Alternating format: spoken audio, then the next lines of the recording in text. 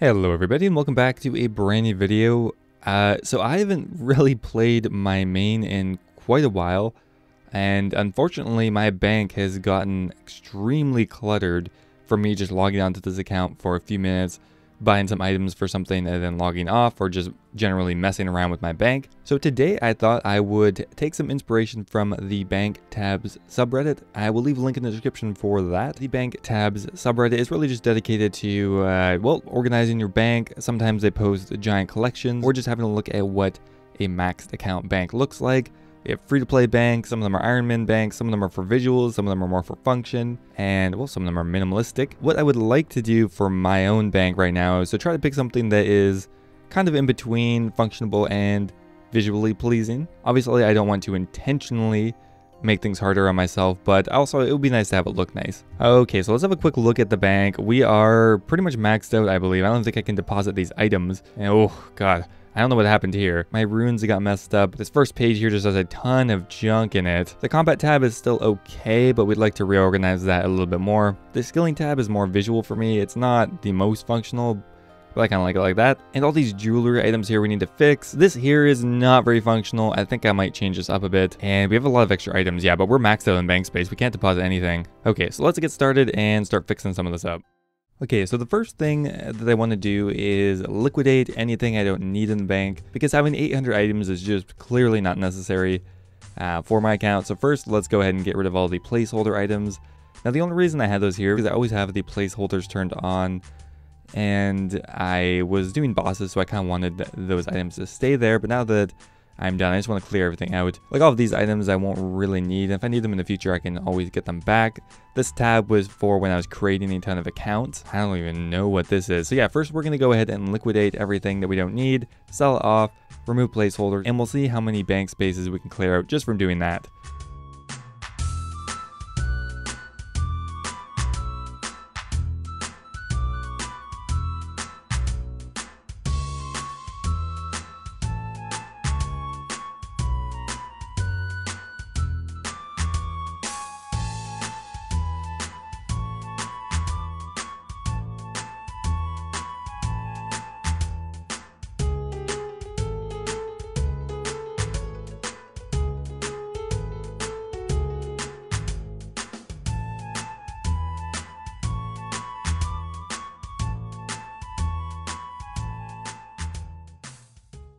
One thing I don't remember if I've actually done already is talk to the wise old man and see if you can clear out my bank of any unnecessary items. Can you check my items for junk, please? Uh, oh. Really? Only the rusty sword. I actually kind of want to keep that anyway, so I guess I must have already come here. Do you want to know something that's really embarrassing? I legitimately forgot I had an abyssal bludgeon. I actually lost it in my own bank. it was so disorganized and it kind of i don't know it just blends in. It didn't really look like any notable item but uh, yeah i actually have an abyssal bludgeon. I think i'm gonna sell that off for now. I'm really trying to clear as much stuff out as possible. The way I had my bank set up before was kind of as if I was an Iron Man, just to make it visually pleasing, but I'd rather get rid of too many items than just have to buy a few of them back later then just have a hugely cluttered bank. I might clear this down to like 400. I'm gonna get rid of things that are useful but I'm just not using at the current moment.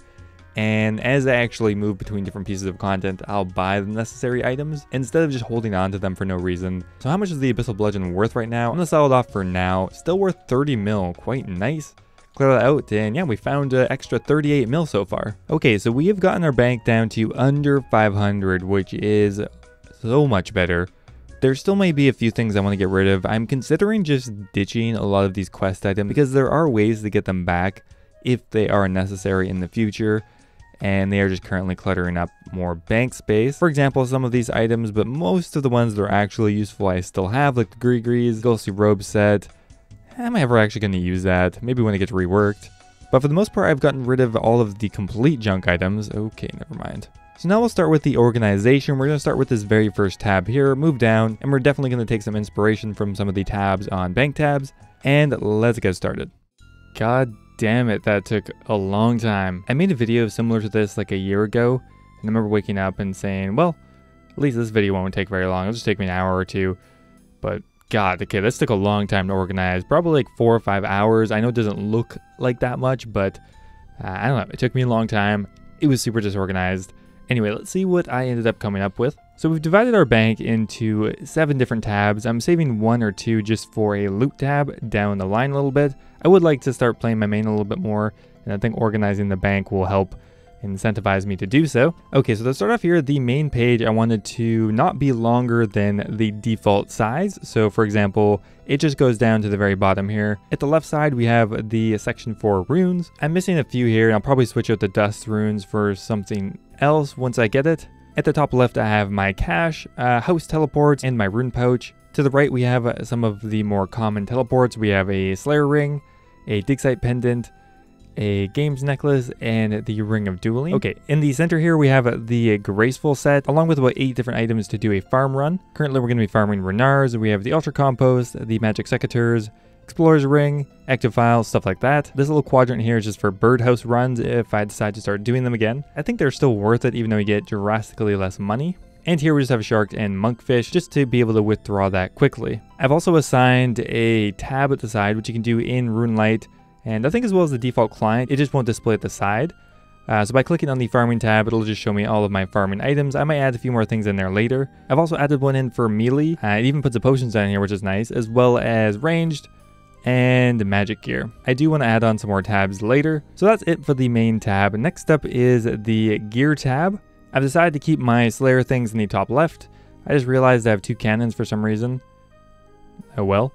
Here we have uh, melee gear, and then ranged gear, and then magic gear. At the bottom here we have our ammunition. We need to get more of that, but I decided that I'm not going to buy items just for the sake of having them in the bank right now because the whole point of this was to try to reduce my bank space. And speaking of that, we've reduced it down to 432. For a main account that's not an Ironman, I really did not need too much more stuff. So 400 is pretty reasonable for me. Below we have some other gear like our prayer gear, some really cheap alternatives in case we go into the wilderness, and that's pretty much it for the combat gear. I heavily considered putting a few potions with combat. I decided to put the potions in with the tags feature at the side and keep them in their own tab. Pretty simple for potions. We have all the major ones at the top. We have super strength, attack, defense, super combats, ranging potions, super restores, staminas, uh, super energies, and then the 3, 2, and 1 dose. You kind of have to do this unless you're really on top of it, or else you'll just get random dosages of potions scattered throughout your bank.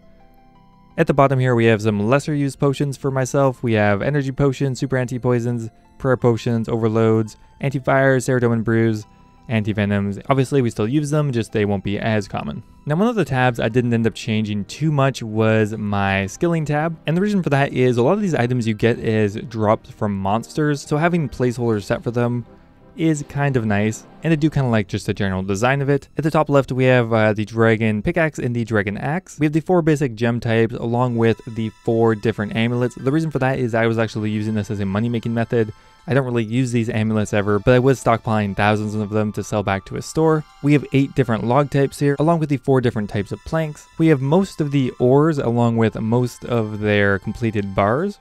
We have some raw food in case we want to train our cooking. We have some ingredients for making wines, and then some other random skilling items. One tab that I don't really have much in yet is my teleportation tab. I would like to start doing medium clue scrolls, and at that point I want to go ahead and buy a bunch of the different teleports, but Again, like I said, I'm not going to buy items just for the sake of having them in the bank until I actually need it, and I'll go and add those in later. So for the herb tab, I got rid of a lot of different items. I only really kept the herbs going from Ranarr and upwards. I kind of had a cutesy little Ironman setup where I'd have one of each unfinished potion, one of each cleaned herb, one of each uh, unclean herb, the secondary ingredients, and the unfinished potion but uh, it's just really not necessary for a main account. If I need those items, I'll just go buy them. I don't need to collect every seed I find in the ground and every herb and whatnot.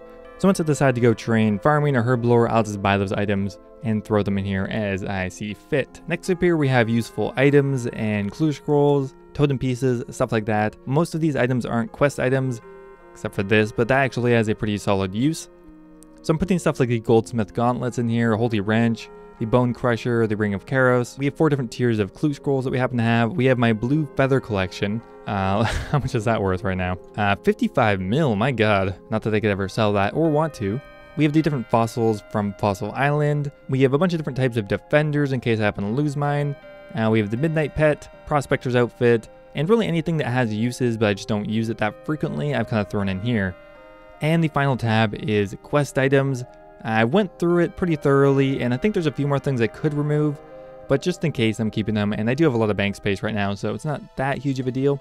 And I have room for I think two more tabs, which I am going to use, I think for maybe a Barrows tab when I start doing more Barrows, maybe Zulrah or other PVM. And since I've cleared out most of the random gear drops that they have and most of the random resource drops, uh, they'll actually be able to funnel into that tab. That is pretty much it, guys. I think I somehow increased my bank value by like 5 mil by selling everything off, if that's possible. We went from a maxed 816 bank down to 422, so we almost cut it in half. And overall, I'm pretty happy with the design. Again, go check out Bank Tabs if you're looking for some inspiration. The community has been growing quite a bit since the last time I made a video. Anyway, I hope you enjoyed, and I will see you next time.